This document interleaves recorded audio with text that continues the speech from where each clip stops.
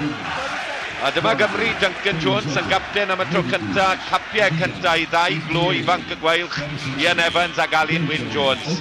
Er tawn rhif chwech fydd Alun Wyn yn ei wisgo. Y ddau limanwr. A dyma ni, arloesol, eiliad hanesyddol, y gic gynta mewn gêm rhyngwladol ym Mhatagonia yn Awladfa.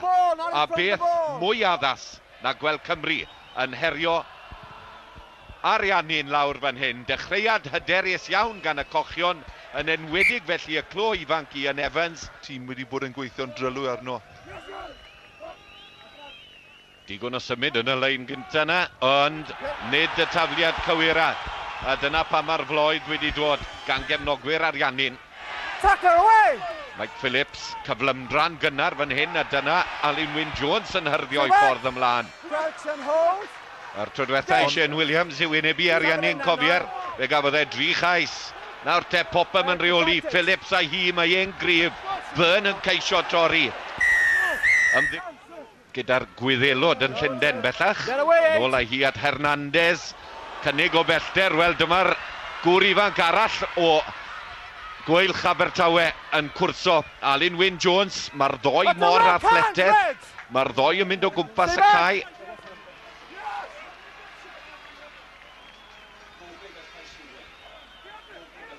That's a rock! Hands! Away, tackler!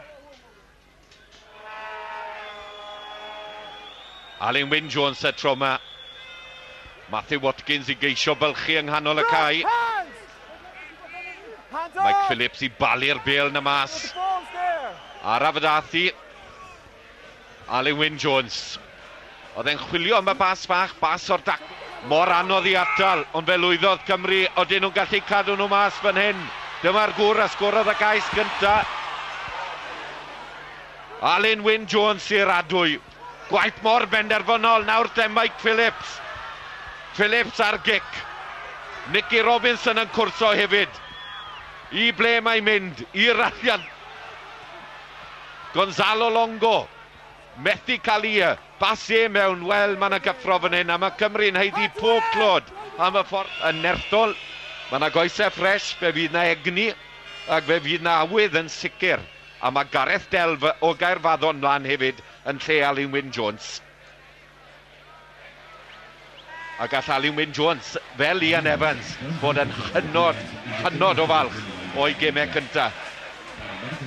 Alun Wyn Jones, crwt o Abertawe, Ysgol Esgob Gor, cyn mynd i'r un alma mater a Chithegwyn i goleg Llanymddyfri am ddwy flynedd. Y dorf yn chwibannu, maen nhw am weld y diwedd. Dyw Cymru ddim, Jamie Robinson yn ceisio bylchu eto. O, mae'r gic yn erbyn Cymru, a dyna hi yr hoelen ola, y gobeith ola wedi mynd. Dal ati ar ôl y dacl, ond oedd rhaid mentro a ni ellir beio neb a mildio mor hwyr. Mae'r gêm ar ben. Mae wedi bod yn ornest gofiadwy.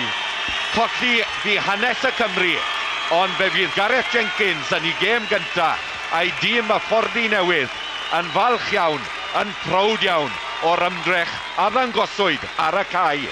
Yr antur newydd felly, y teithwyr newydd yma yn y wladfa. Dyn nhw ddim wedi wneud i ar y dechrau, ond falle gallan nhw